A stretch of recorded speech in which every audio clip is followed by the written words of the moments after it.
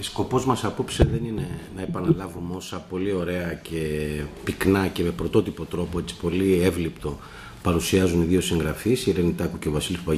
Παπαστεργίου στο βιβλιαράκι αυτό. Ε, είναι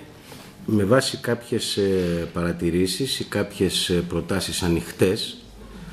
να συνεχίσουμε μερικές σκέψεις σε μια προσπάθεια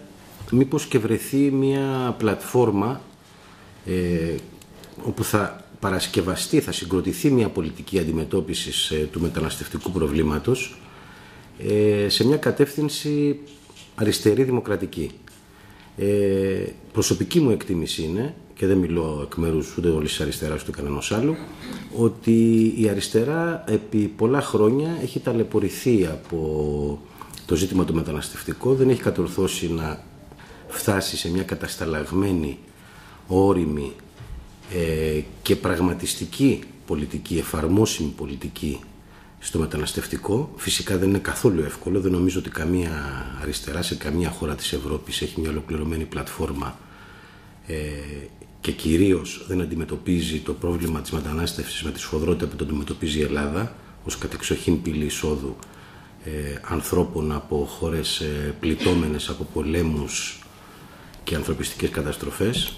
Έχουμε μια ιδιομορφία, έχουμε μια τεράστια ακτογραμμή, έχουμε σύνορα ανοιχτά, πορόδι, δεν κλείνουν. Ε, και είναι ένα ζήτημα το οποίο εκτός από τους κοινωνικούς κραδασμούς, τα φαινόμενα ξενοφοβίας που είχαν φέρει τις, τα περασμένα 20 χρόνια περίπου, στις ε, συνθήκες πολιτικής, οξύτατης πολιτικής και κοινωνικής κρίσης που ζούμε τώρα, ε, κινδυνεύει να γίνει βόμβα. Νομίζω ότι ένα από τα, ένας από τους πυλώνες τους οποίους στηρίχθηκε ε, το νεοναζιστικό φαινόμενο στην Ελλάδα ήταν η ρητορική για τους ξένους και τους μετανάστες.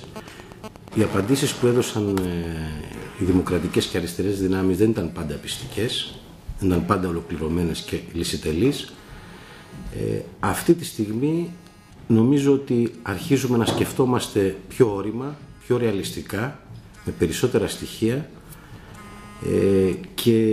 ήδη η ιστορία μας καλεί να το κάνουμε αυτό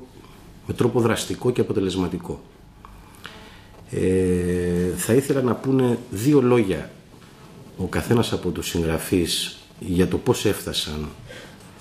σε αυτό το περιεχόμενο και σε αυτή τη μορφή, ποια ανάγκη τους οδήγησε και κατόπιν να συζητήσουμε σε τρία-τέσσερα κομβικά σημεία αυτού του μεγάλου πολιτικού και κοινωνικού ζητήματος.